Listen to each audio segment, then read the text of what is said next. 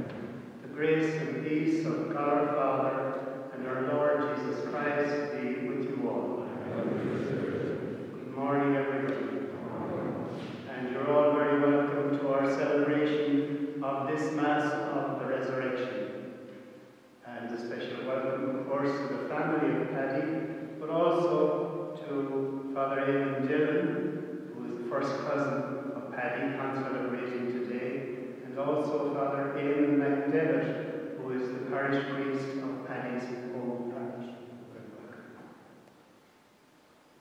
So first of all, I'd like to sympathize with Paddy's family, with all his many brothers and sisters, with his many nieces and nephews, grandnieces and grandnephews, and so many relatives and friends who, of course, can't be with, with us today because of the COVID restrictions. But they will no doubt be joining in the month's mind in your own parish. And also, sympathies also to our the classmates. There are seven classmates of Paddy celebrating here with us today. And you might have noticed in front of the altar there are some symbols, life symbols. Uh, we have, of course, central are the photos of Paddy's family, because you were truly his rock of support throughout his life. And for you, he always gave thanks. And also, remembering his time in Peru, there is a crucifix there from the Peruvian um, native peoples, and also the um, flag, the Peruvian flag. And of course, in the middle, there are two golf balls. As we know, the Eucharist means thanksgiving, and so this morning we give thanks for the life of Paddy Dooher. And we commend him to the love and mercy of God. And also we ourselves ask pardon of God and of each other for our many faults and failings. Lord,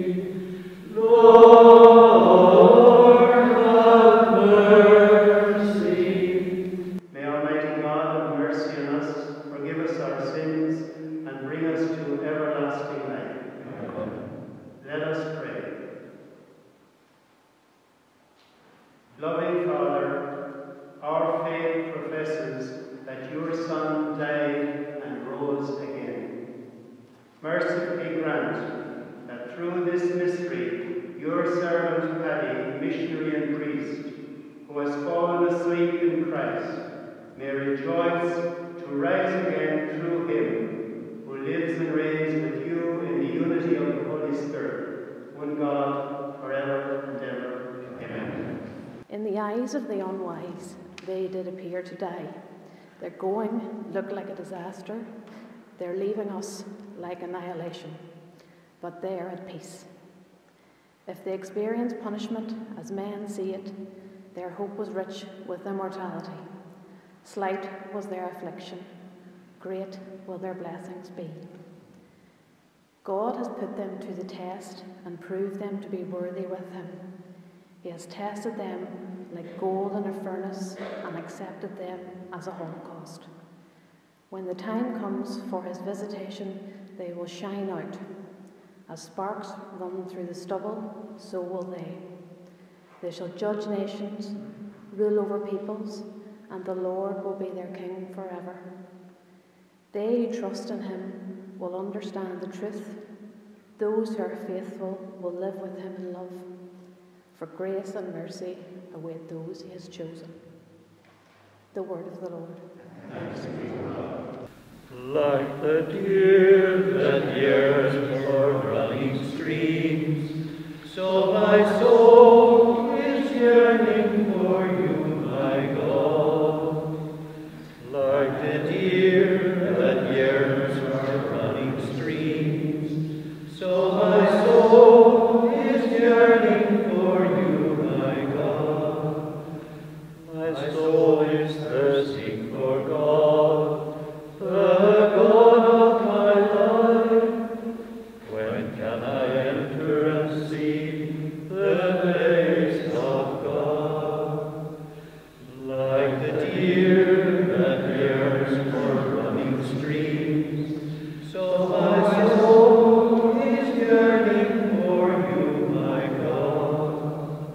Second reading, a reading from the letter of St. Paul to the Romans.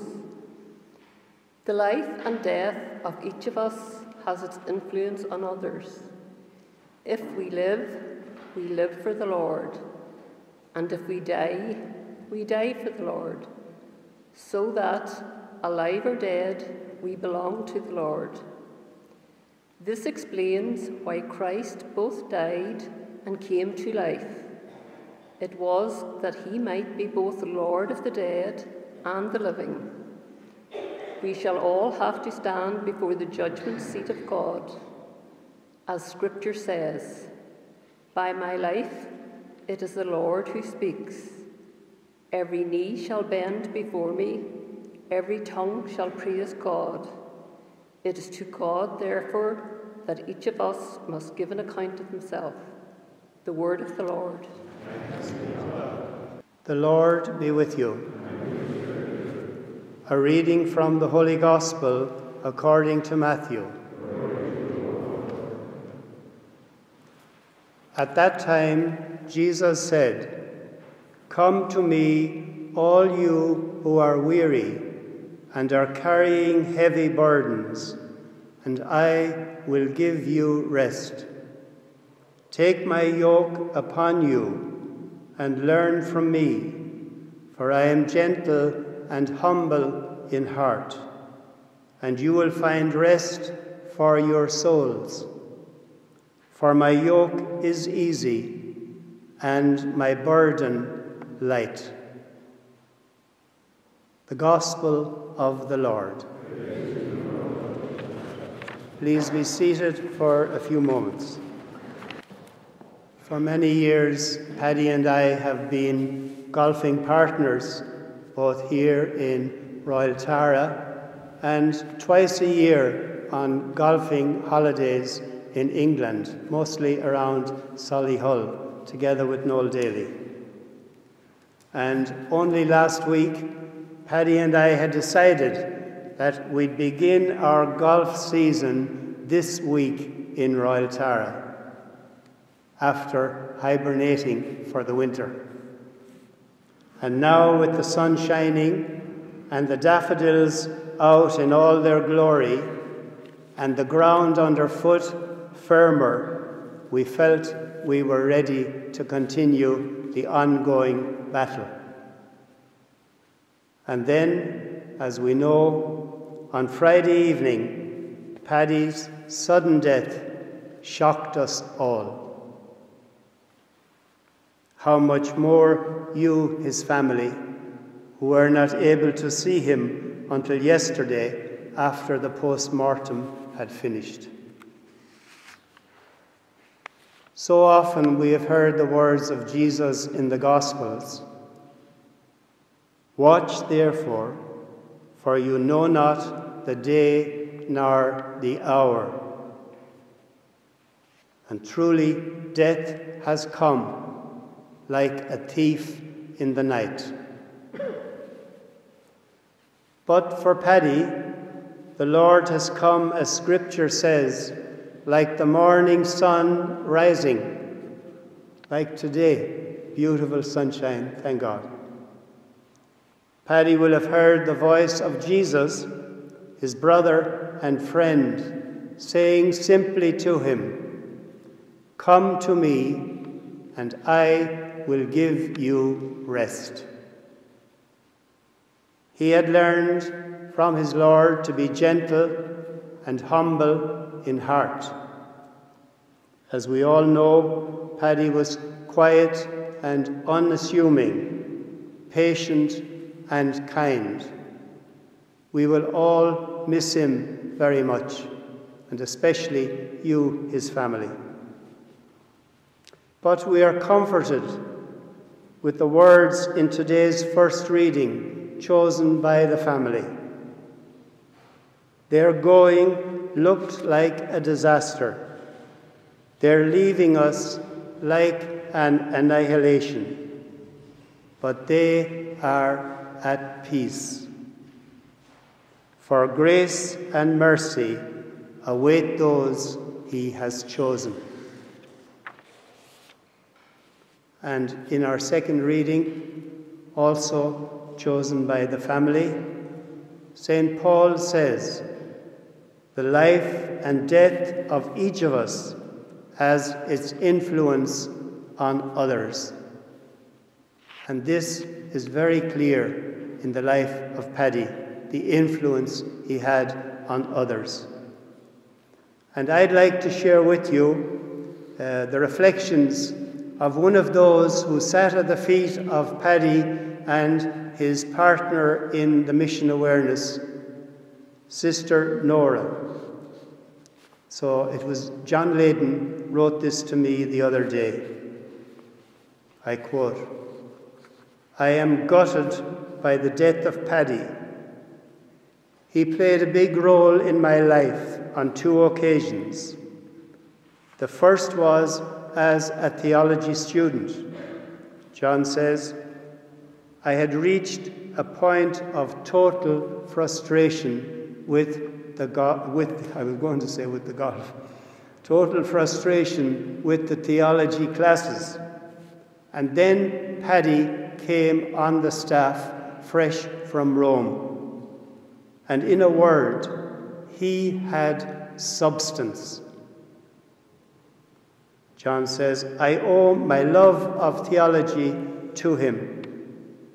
And later, in 2010, as I was entering into my 60s, I did the Faith and Mission Renewal course.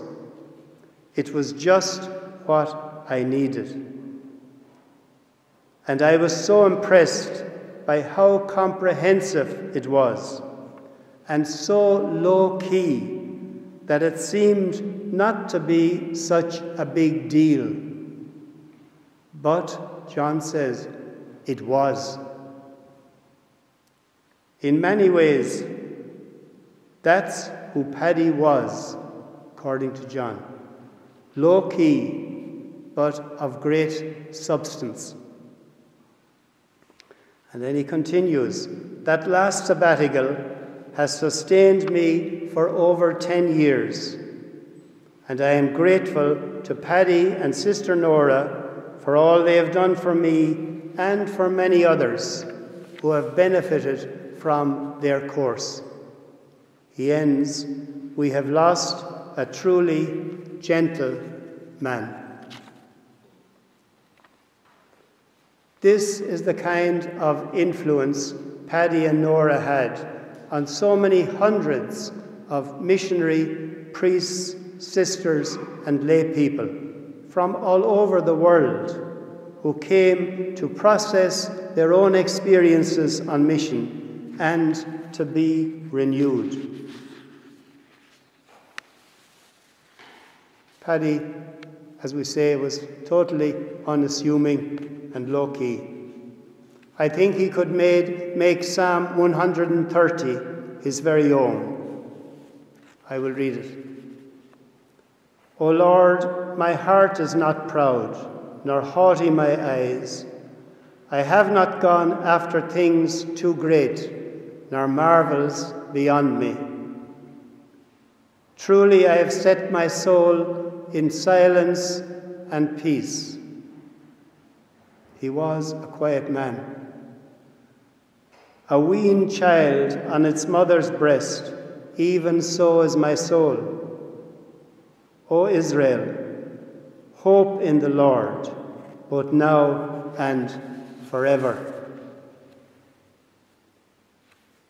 I think that describes Paddy. Finally, after all his years teaching in the seminary and an overseas mission in Peru, and 27 years, imagine, as director of the Faith and Mission Program here in Dalgan. Paddy could well say with St. Paul, As for me, the time of my departure has come. I have fought the good fight. I have finished the race. I have kept the faith. Paddy, may you now rest in peace. Amen.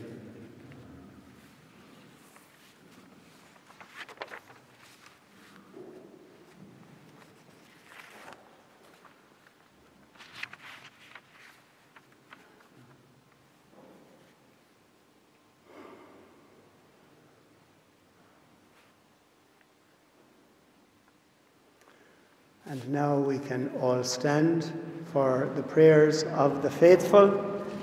And I would invite up the following nephews and niece Stephen, Anne, Owen, and Gavin. Lord, we give thanks for the many blessings you have given to Paddy during his life. May he now share with your saints the joy, light, and peace of heaven, where every tear will be wiped away. Lord, hear us. Lord, graciously hear us. We remember Paddy and all those who have gone before us, marked with the sign of faith, especially his parents Tommy and Kathleen, his brother Dan, and his nephew Aidan. We pray that they may rejoice with him in the peace of God's kingdom. Lord, hear us. Hear us. We pray for all of Uncle Paddy's family and their great loss, and for all his relatives and friends that they may be strengthened at this time and know the consolation of your love. Lord, hear us. Loving God, we pray for the people of Ukraine, for all those suffering and afraid, that you'll be close to them and protect them. We pray for world leaders for compassion, strength, and wisdom to guide their choices. We pray for the world that in this moment of crisis we may reach out in solidarity to our brothers and sisters in need. May we walk in your ways so that peace and justice become a reality for the people of Ukraine and for all of the world. Lord, hear us. Lord, graciously hear us. And we also remember we have two anniversaries of Columbans. Uh, Ernest Speckard from New Jersey, who worked in Argentina and Peru, and also for Aidan Larkin, who died just a few years ago from Derry, and he worked in Chile. May they rest in peace. Amen. We bring these prayers and all the prayers that are deep in our hearts. We present them to you, Father, with confidence through Christ our Lord. Amen. Blessed is he who comes in the name of the Lord. Hosanna,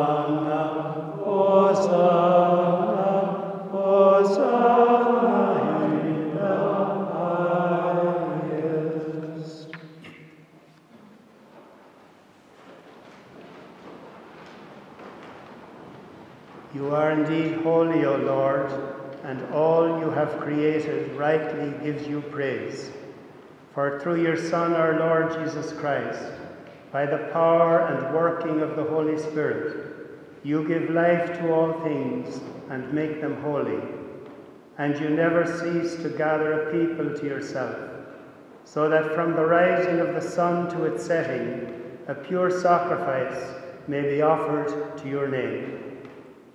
Therefore, O Lord, we humbly implore you, by the same Spirit, graciously make holy these gifts we have brought to you for consecration, that they may become the body and blood of your Son, our Lord Jesus Christ, at whose command we celebrate these mysteries. On the night he was betrayed, he himself took bread, and giving you thanks, he said a blessing broke the bread and gave it to his disciples, saying, Take this, all of you, and eat of it, for this is my body, which will be given up for you.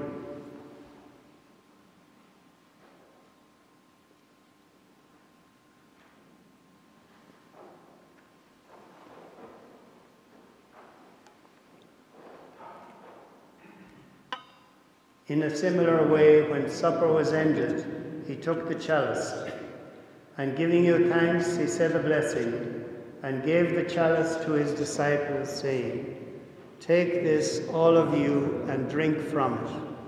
For this is the chalice of my blood, the blood of the new and eternal covenant, which will be poured out for you and for all, for the forgiveness of sins.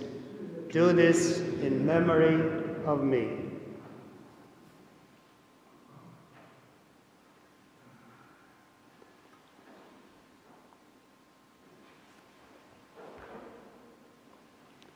The mystery of faith.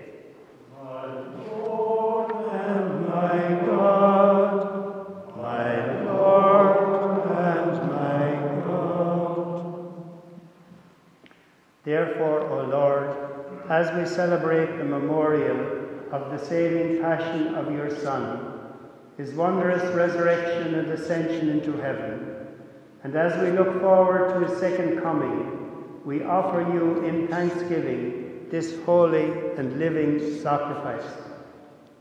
Look, we pray upon the oblation of your church, and recognizing the sacrificial victim by whose death you will to reconcile us to yourself. Grant that we who are nourished by the body and blood of your Son, and filled with his Holy Spirit, may become one body, one spirit in Christ. May he make of us an eternal offering to you, so that we may obtain an inheritance with you elect, especially with most blessed Virgin Mary, Mother of God, with blessed Joseph, her spouse, with the blessed apostles, the glorious martyrs, St. Columban, with all the saints, on whose constant intercession in your presence we rely for unfailing help. May this sacrifice of reconciliation, we pray, O Lord, advance the peace and salvation of all the world. Be pleased to confirm in faith and charity your pilgrim church on earth, with your servant Francis, our Pope, and Thomas, our Bishop, the order of bishops, all the clergy, and the entire people you have gained for your own. Listen graciously to the prayers of this family, whom you have summoned before you. In your compassion and merciful Father, gather to yourself all your children scattered throughout the world.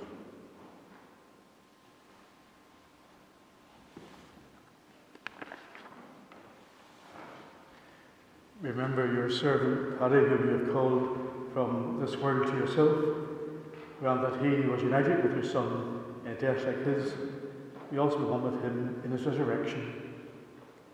When from the earth he'll raise up in the flesh those who have died, and transform our lowly body after the pattern of his own glorious body.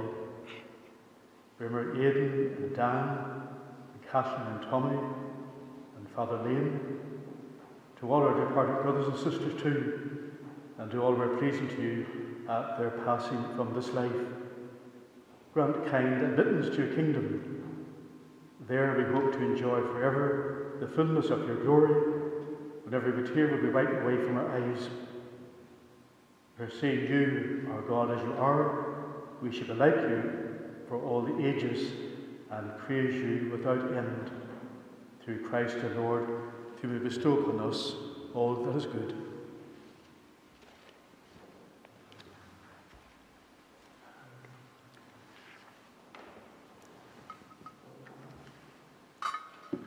Through him, with him, in him, in the unity of the Holy Spirit.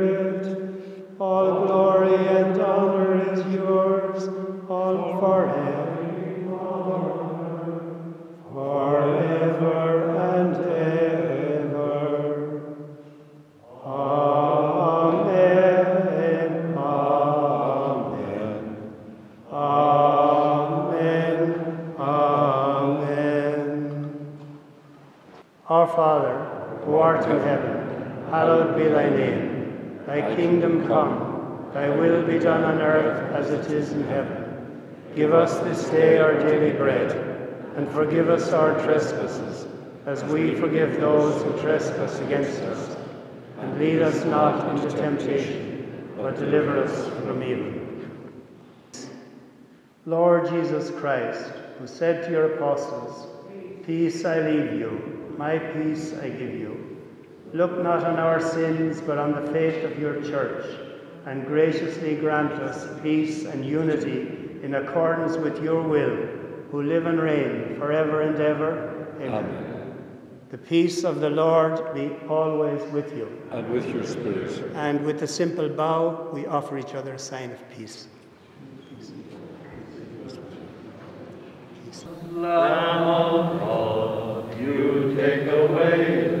sins of the world, grant them rest. Lamb of God, you take away takes away the sins of the world. Blessed are we who are invited to his table. Lord, I am not worthy that you should enter under my roof, but only say the word, and my soul shall be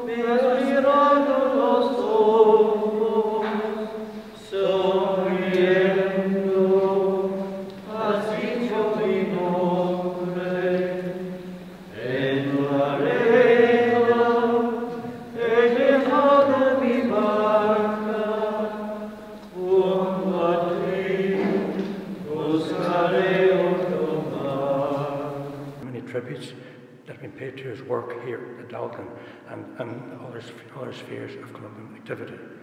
We have gained an enhanced sense of his role and participation in the work of the Columban community and appreciation of the centrality of his work and the overall direction of the society at, at St. Columban's. We can then reflect uh, on his long-term support for our families over the years since his ordination way back in 1966. At the weddings, at the family masses, and the funerals of relatives and uh, other community members. He was always available to provide solace and support uh, in the family uh, and community events. and his participation was in many ways greatly undervalued. the gentle words, the controlling hugs, and the ready uh, listening ear for expressions of stress, of stress and, unhappiness. And listening to Father Martin's review last night of his centrality to the work of the Columbans and reaching out to other nations and communities, and the tributes paid to his participation in these ongoing work of the Columbans and reaching out to, these people in need has been, in many ways, an eye opener. We, we were probably inclined to minimise the real extent of his commitment to both family and missionary activities. He always seemed to be so available for whatever was asked of, him. Uh, the biographical section in the Mass leaflet uh, uh, on his work and, and the outline provided uh, uh, by Father Martin at last night's uh, prayer was a revealing tribute to Paddy's life as a Columban and, and a dedicated family man. we thank the Columbans and all other people who worked with Paddy to deepen his experience of a life of service to God and, and to his neighbours, and trust the merciful God will receive him as a good and faithful servant, and may rest in peace. Uh, and finally, a special tribute uh, to Fathers uh, uh, Donny Hogan, Father Husband, Father Michael Martin, uh, for sharing with, with us uh, their appreciation of the work of, of Father Paddy. And we welcome the attendance here today family and relations, Father Sean Dillon and uh, Father, Father McDivitt, uh, a parish priest uh, of Donaghedy, uh, where Paddy has worked uh, in support of the parish for a long time. Uh, finally, we thank the Columban community and staff members who provided the, the refreshments during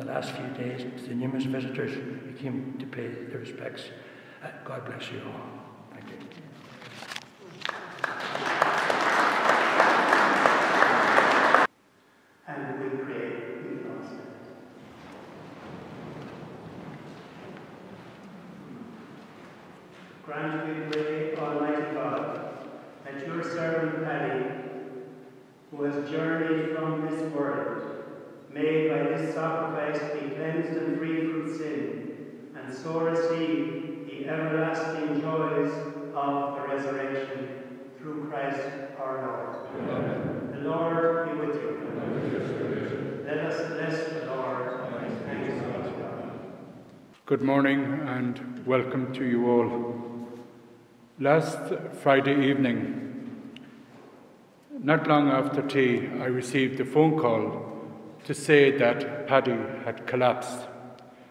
And by the time I got there, I knew the situation was grave. Dave was uh, doing CP- CPR on him. I knelt down and I anointed Paddy. The suddenness of his passing shocked you, his family, and all of us here in Dalgan to the core. On behalf of the Dalgan community and on the wider Columban family, I wish to offer you, his family, my sincere sympathy to Mary and to Annie, to Johnny, Noel, Hugh, Eugene, Brian, Liam, and Kevin, and to the extended Dooher family, our sympathies and prayers. And now I invite you to stand.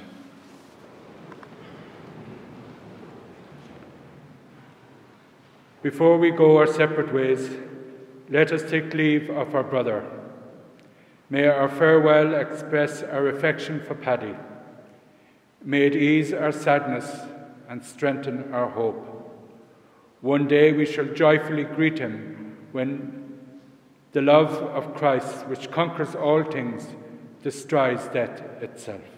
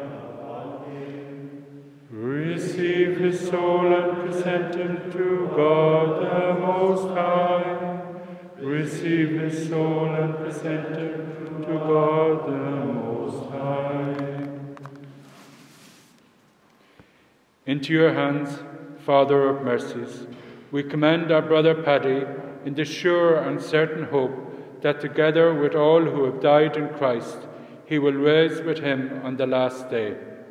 We give thanks for the blessings which you bestowed upon Paddy in this life. They are signs to us of your goodness and of our fellowship with the saints in Christ. Merciful Lord, turn towards us and listen to our prayers.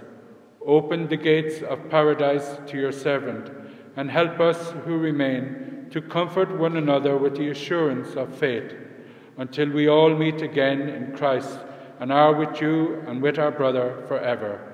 And we ask this through Christ our Lord. Amen. In peace, let us take our brother to his place of rest. You shall cross the barren desert, but you shall not die of thirst. Shall wander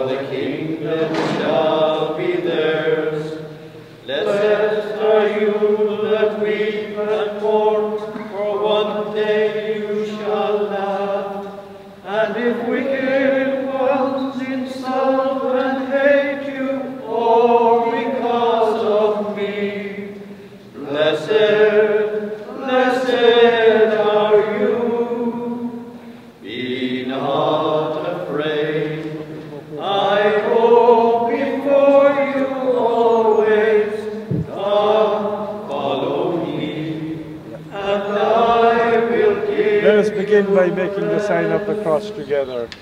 In the name of the Father, and of the Son, and of the Holy Spirit.